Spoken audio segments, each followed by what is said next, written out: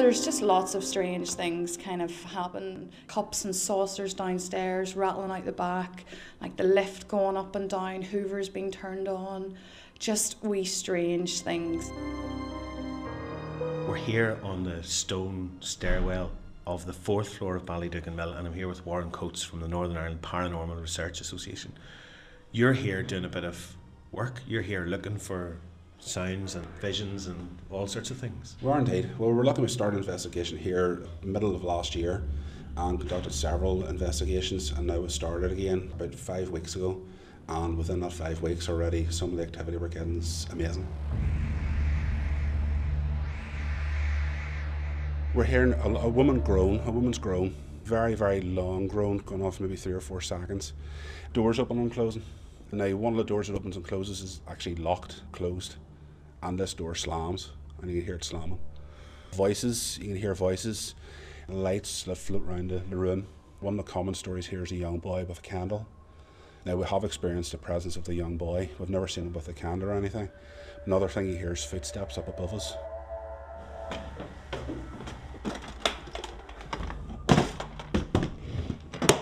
Some of the things we use, uh, I just brought down a selection of stuff for you. Start with the camcorders dark locations we would have our normal camcorder with night shot. If you go into a room that's dark, any light particles that's about, this sort of get it and magnifies it. Right. So it does. So work in very, very low light. They do. What's the Right. what's the big walkie-talkie thing here? That there is an environment meter for temperature. And what are all these wee things here? These are all like wee clocks. Yeah, What are they're, wee they're, transmitters. yeah, they're, they're actually motion detectors, just like what you would get in a normal sort of Ah, household motion burglar alarm. Yeah, Right. you know, we would have them set up just in case there's any anything sort of breaks one of the beams. And how does it work then? When you bring all this stuff to Ballydugan Mill, you come in here. Obviously, you'd know by looking at it that this was an old mill. Wooden floor, wooden beams, uh, wooden rafters up above us, and then those wee small windows, but kind of dark in here as it is. And I'd imagine sitting up here at night would be scary enough. It's, it's not so much fears. It's every place has its own sort of noises it makes, natural ambience sounds. We would go in but try and sort of rule out all natural explanations 1st mm-hmm.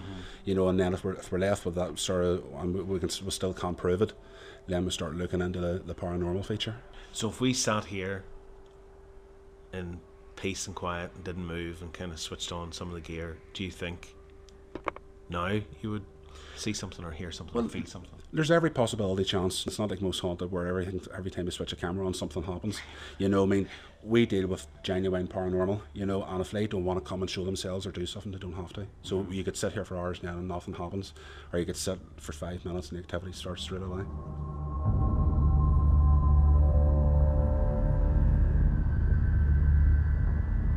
Spirit friends in this room, can you please come forward now and make yourselves known to us? If you can, can you please show us sign? Can you please touch one of us present? Can you please knock a door, make a banging noise for us? Our friends in the spirit world now please come forward? Will you please come forward and communicate with us?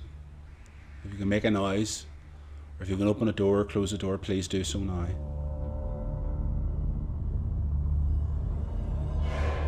If there's any spirits, the female spirit, male spirit, who've passed through this place over the last 100 years, 200 years, and you want to show yourself today, rattle a door, open a door, flick on the lights, approach one of us, or you can text us on 81771, or you can call 08459 555 678, or you can email Saturday Magazine at bbc.co.uk. That was the producer at the end. I have to say, just just as we're all sitting around, So we could try. I made you think. But you know, the, the, the, that was Warren Coates from the Northern Ireland Paranormal. Research Association. I'm here with Hugh Gallagher and Elaine Floyd from CAPRA, which is the County Antrim Paranormal Research Association, and Mike Hirons from Paranormal Ulster. Um, it's quite an experience, though, when you're sitting there, you know, because and people are skeptical and people say it's a load of nonsense and all this, but actually, when you're sitting there uh, in that place, it was daytime as well. It wasn't, you know, it's not the dark of night but you're you're wait you are waiting for something, and even the experience of just sitting quietly, listening to yourself breathing, listening to your own heartbeat, uh, is a is a restful thing, and waiting you're waiting for some something to jolt you out of your. It, when you do, how do you do what you do, Elaine? When you go to these places, because you were you were doing one of these last night. We'll not say where, but you were. Yes, you just have to go with an open mind. Me personally, I like to go in and get a feel of a place after I've done the research and you know find out exactly what's going on in the place according to the client. Um, we just go in and you just settle yourself down and just go around and get an ambience and feel myself if there's anything going on, and then just go and doing protocol. We just go into asking out our EVP sessions after doing our baselines and everything, and, and we just get tore in really. And how many, you know, how many times do you go out and you do this kind of thing? Out of the proportion, say you go out ten times, how many times would you find something something happens, and how many times doesn't? Because programs like Most Haunted Yeah. Yes. make you think all you do is turn up, switch the camera on, and there's a ghost. Yes, you, do, you don't get something every time you go out. It just doesn't happen like that. It's not like most haunted at all. In fact, a lot of the time it's extremely boring because you're sitting there waiting for something to happen. Um, I would say about one in every four cases we get something. And do you have to be a certain type of person to do this? Why do you do what you do, the three of you? my my if I can come in on there, John, being I'm a very spiritual person, albeit I bring scientific uh, elements into the investigation.